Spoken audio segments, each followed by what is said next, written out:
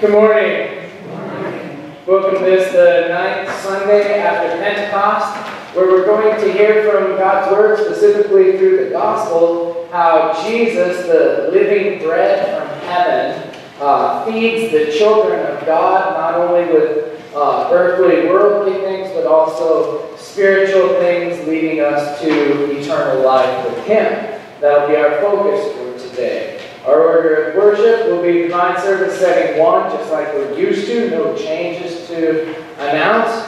So we will begin with our opening hymn, hymn 701. We'll stand when we sing the final verse.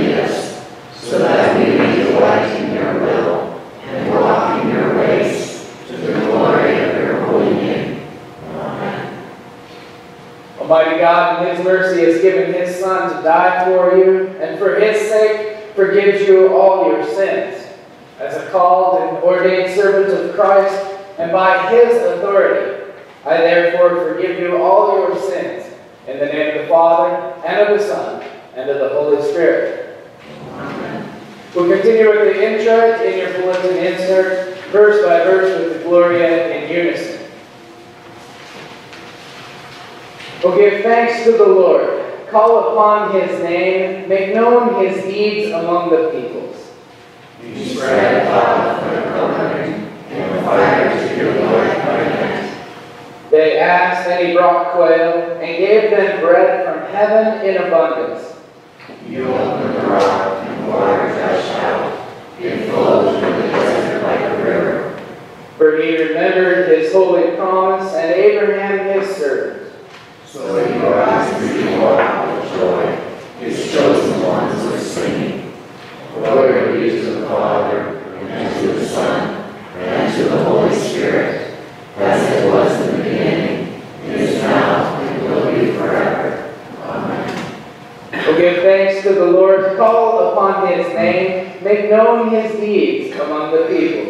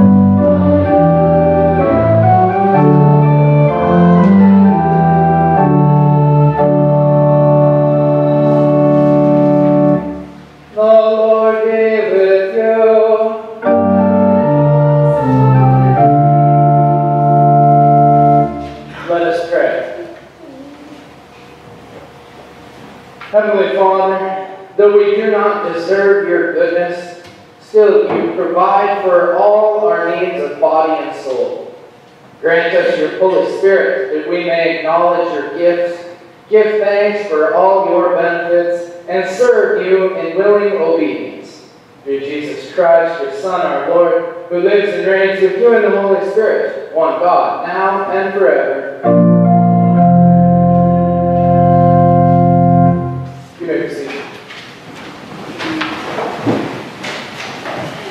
The Old Testament reading for the ninth Sunday after Pentecost is from Isaiah chapter 55.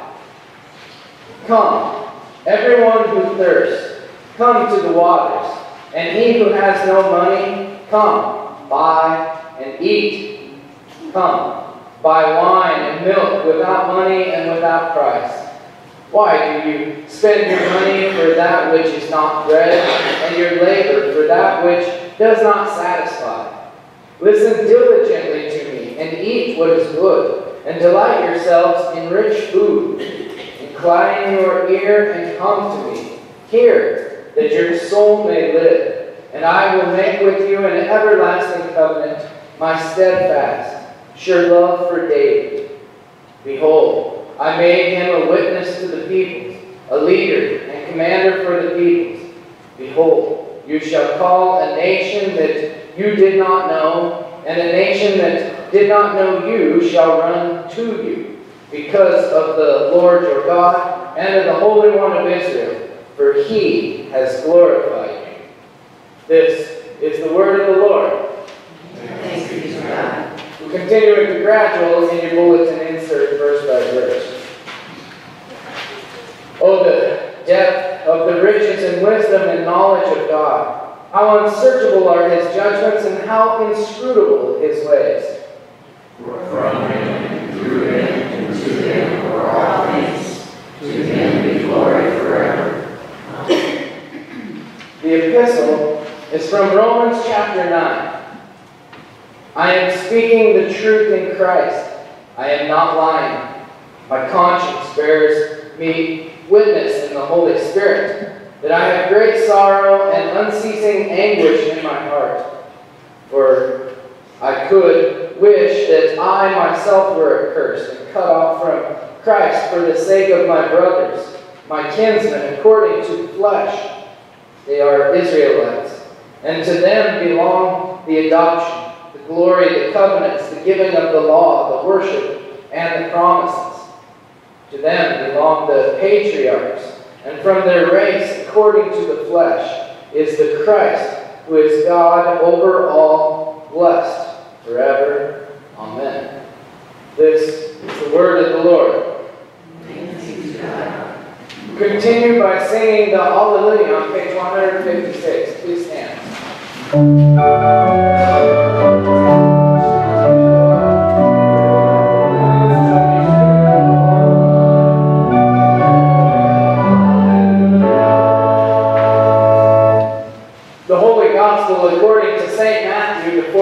14th chapter.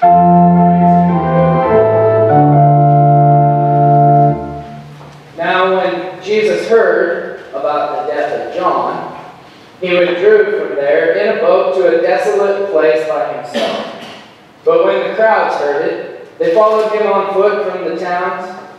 When he went ashore, he saw a great crowd, and he had compassion on them and healed their sick.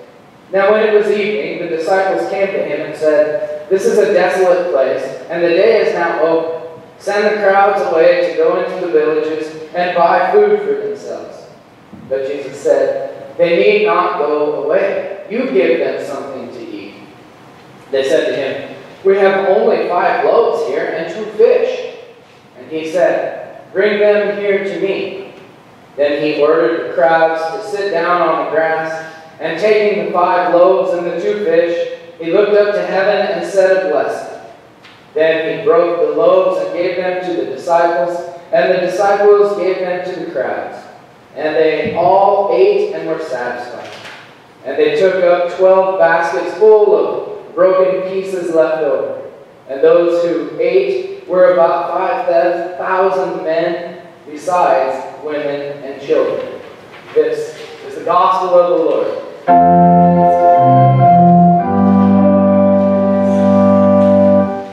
May be seated as we continue with our sermon hymn, hymn 642.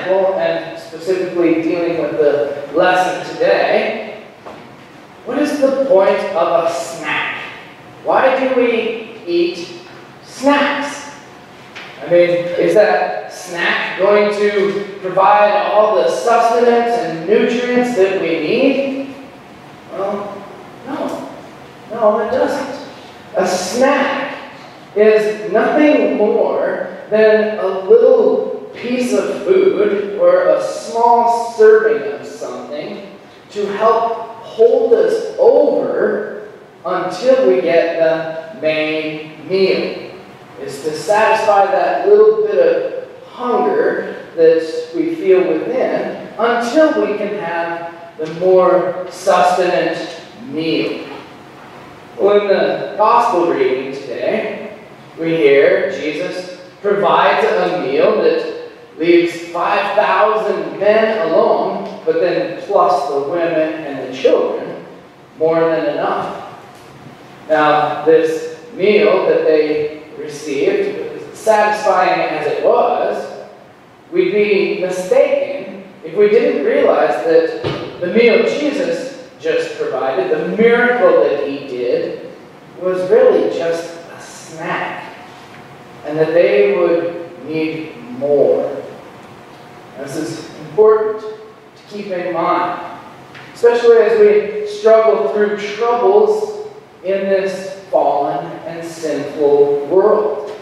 It'd be good to ask ourselves are we longing for and wanting mere snacks to provide immediate relief and satisfaction? Or are we looking to Jesus and waiting for His ultimate relief and His ultimate provision. So we hear in the lesson today that the, the problem being addressed today isn't specifically in sin of broken commandments or humans' uh, rebellion or disobedience to God's created order. No, the focus today is the problems that we people struggle with in our world because the world itself has been ruined by the fall into sin. The world itself has become a harsh, harsh place to live. We hear Jesus withdrew in a boat to a desolate place by himself. When the crowds heard it, they followed him on foot from the towns. When he went to shore, he saw a great crowd, and he had compassion on them and healed their sick. Now, it's important to note that the text for today was immediately following John the Baptist's horrible death. If you remember, Herod had his head chopped off and served on a platter at a party. And it continues they, they go out into the wilderness. And it, it continues with the, the fatigue of the disciples. And I think it's probably safe to say that this fatigue and sorrow was something Jesus himself experienced. And that's why he went away to be by himself. And his, his own human nature, his humanity showed that he mourns this fallen, sinful world and the horrible things we have to suffer and endure as well. Now, the obvious effect of sin in the reading today is uh, the deficiencies. And specifically in the case today was the insufficient food for a crowd of people that had gathered around Jesus. Now, just like anyone else, the disciples and the crowds would have surely loved and desired Jesus to deal with the these effects of sin by a, a mighty show of power, using his godly nature to, to make everything better. But in the state of humiliation, Jesus doesn't always use his divine power or act according to what we would typically like him to do. He does occasionally, but it's, it's only when applied to his work of salvation for sinners. If Jesus were just in the business of doing miracles to show his power, I mean, it would have been more impressive and more awesome to raise John from the dead, to put his head back on and bring him back to life, and then to strike Herod down in some terrible way that he probably deserved. That would have been a more powerful, awesome thing to do. That probably would have impressed the disciples and the crowd. Would have impressed anyone there. But it would not have shown Jesus to be the promised Savior. Power, for power's sake, is not the way of our salvation. And that's not to neglect that Jesus did, in fact, use his godly power to do the miracle of providing food for the great multitude. So, why did he then use his power in that way rather than the, in the more glorious way that we would want? Well, his act of power in feeding the 5,000 was uh, example of how he is the fulfillment of Old Testament promises and feedings. We hear in Exodus chapter 16, verses 3, 13 through 15. And in 2 Kings chapter 4, verse 42 through 44, how God miraculously fed the people of Israel. So Jesus used his God nature to fulfill that. To point people to himself. But, like most of humanity, the crowd at that time didn't understand it. They didn't make the connection between the promise of our Savior and the fulfillment of that promise in Jesus. Sadly, the disciples didn't understand it either. They probably would have been more than satisfied to, to consider what Jesus was going to do about all of this mess, rather than just the snack of the day, which points them to the great. So we see in the fall our innocence, our ability to behave godly, wasn't the only thing that was lost. Our knowledge of God, our understanding of Him and who He is, was very, very clouded as well. Now, while a lot has changed from the time of the text, there are a lot of effects of the fall and living in a world ruined by sin that we share in. I mean, we too live in a world, especially now, where we hear of tragic, senseless, and violent death. People hating one another, murdering one another. We daily face physical and spiritual fatigue, which makes us want to retreat, to isolate ourselves, to get away from this mess. And then that leads us to wonder why doesn't God use His power to change all this? What is He waiting for? Why doesn't He strike these evil people dead? Why doesn't He bring justice?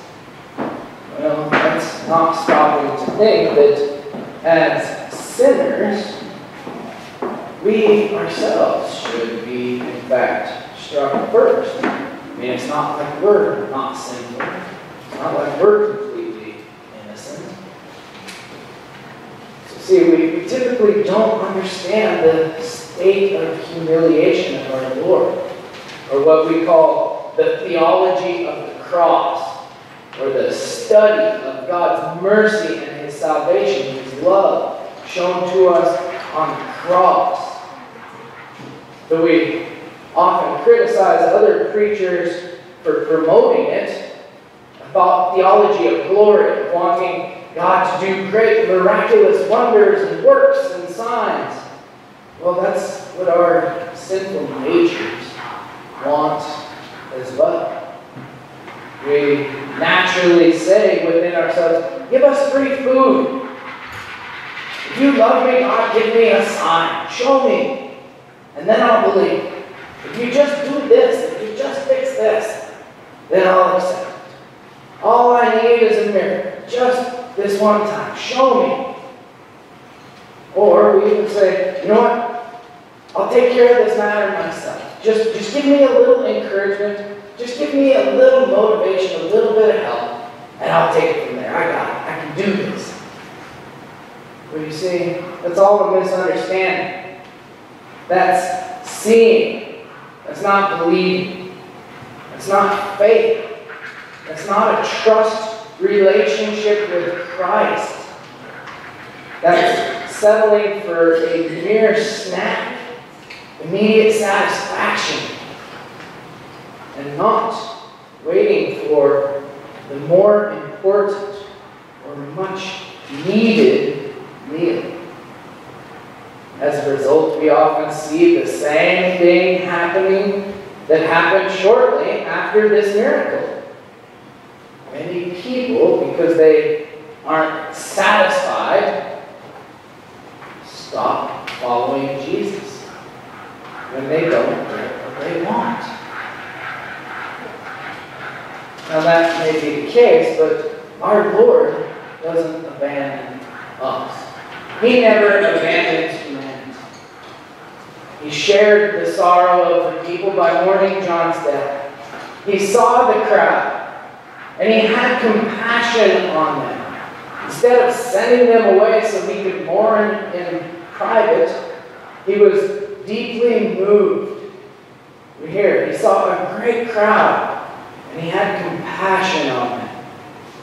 When our Lord is deeply moved, when he acts out of compassion, he does great, miraculous things. He, in the text today, provides a short-term miracle by providing the food they need. But he does this all the time in our lives today by providing for our daily needs. I mean, in our world, is there anything you're specifically doing to keep yourself from getting sick? That is the Lord providing for our needs. Is there anything you're doing to keep breathing? I mean, seriously, that is the Lord giving you every breath.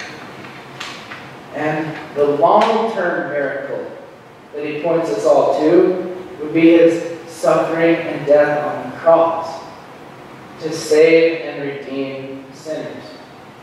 Now, this is one situation where Jesus would withdraw all by himself because no one can follow him or do that work. No one can save themselves. Only Jesus can save sin.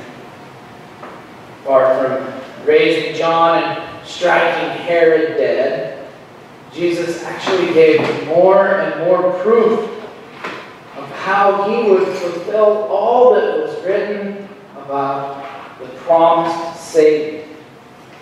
Jesus would suffer die, and he would rise from the dead. Not only would he satisfy the, the hunger and the other needs of the crowd, a great meal, yeah, no doubt, but it was still just a snack for what was to truly follow. You know, keep this in mind. Jesus even paid for Herod's sin of having John the Baptist murdered. Keep that in mind. Herod would have repented and came to faith, he could have been saved as well. So you see Jesus feeding 5,000 shows the same compassion that is to be shown in the greater miracle, the greatest meal of sinner's salvation on that cross. Now, because there is so much in common between us and the people of the text, the blessings of the gospel are the same for us also. If we can put ourselves in the crowd with respect to the problems, then we can surely put ourselves in the crowd with respect to the miracles as well. If the law shows us to be one of those who wants to see a miracle before we're convinced, if we naturally doubt like they did, if we hunger for immediate satisfaction more than we hunger for righteousness, if we fail to understand and often even take offense at the cross, that is, if we're willing to settle for snacks rather than a complete meal, well, there's good news for us also. For in Christ we are forgiven. So the big miracle, the real meal, is for you as well. The compassion Jesus has for all people, which led him away from the crowds and to that very cross, is for you. And the Holy Spirit convinces us of the truth that that word is for you can be fully satisfied. And God's grace will overflow abundantly for you. Back then, Jesus looked up to heaven. He said a blessing. And he did a miracle so that people could live for a time. That was magnificent. Yeah, that was amazing. But it was a mere snack because they would get hungry again. They would get sick and struggle with this world again. But in light of the cross, in our world right here and now, today, Jesus looks down from heaven. He says a blessing. And he brings us into an ongoing miracle of salvation. A complete meal for all time and all eternity. We hear Jesus say, Truly, truly, I say to you, whoever believes has eternal life. I am the bread of life. Your fathers ate manna in the wilderness, and they died. This is the bread that comes down from heaven, so that one may eat of it and not die. I am the living bread that came down from heaven. If anyone eats of this bread, he will live forever. And the bread that I will give for the life of the world is my flesh. And when many of his disciples heard it, they said, This is a hard saying. Who can listen to it? Sadly, after this, many of his disciples turned back and no longer walked. So Jesus said to his disciples, He says to you, Do you want to go away as well? And we answer with Simon Peter saying, Lord, to whom shall we go? You have the words of eternal life. We have believed. We have come to know that you are the Holy One of God. Amen. The peace of God which passes all understanding, keep your hearts and your minds in Christ Jesus. At this time, I'd ask you to please stand as we join together and confess the Christian faith in the Nicene Creed on page 158. I believe in one God, the Father Almighty, maker of in all things visible and invisible, and in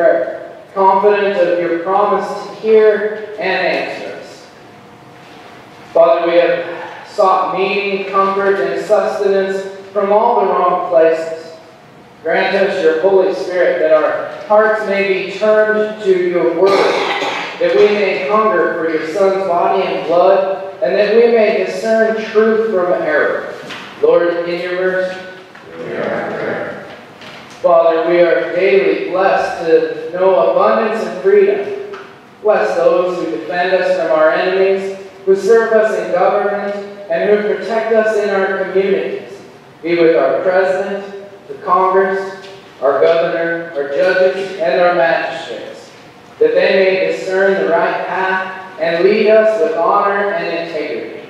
Lord, in your mercy. Father, we suffer with all manner of ills and afflictions. Hear us, grant to us healing according to your will, strength in time of trial, and peace at the last. We pray especially for Pam and for all our brothers sisters at St. Paul requesting prayer.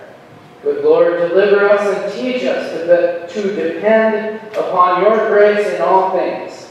Lord, in your mercy.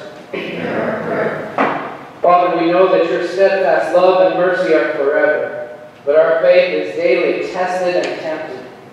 Give us strength and endurance, that we may not despair, but have confidence in your sufficient grace. Guide us to seek our consolation your word and sacraments, and prepare us to receive the Lord's body and blood in this holy communion.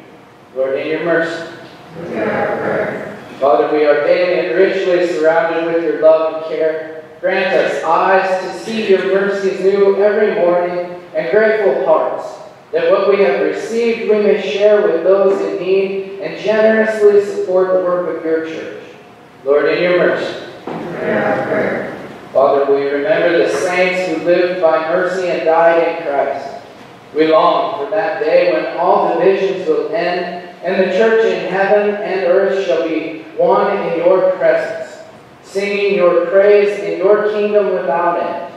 Lord, in your mercy. Father, we ask you to grant us all things needful and to keep from us all things harmful to us and to our salvation. For we trust your wisdom and your love. Teach us to pray without fear. Your will be done. Through Jesus Christ our Lord we pray. We'll continue with the service of the sacrament on page 160. The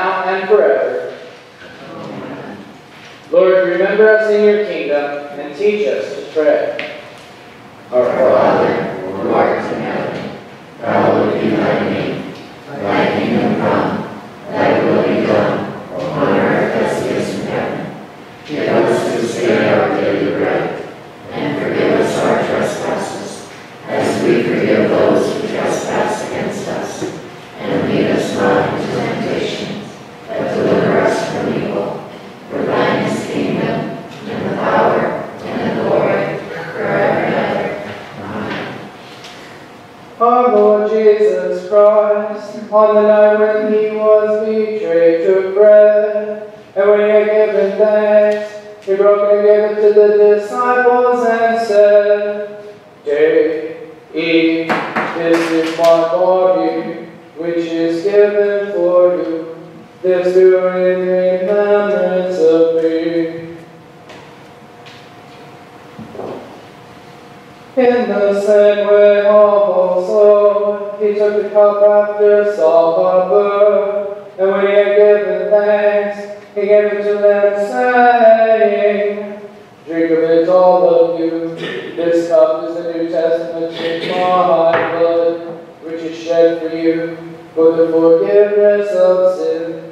This do as often as you drink it in remembrance of me.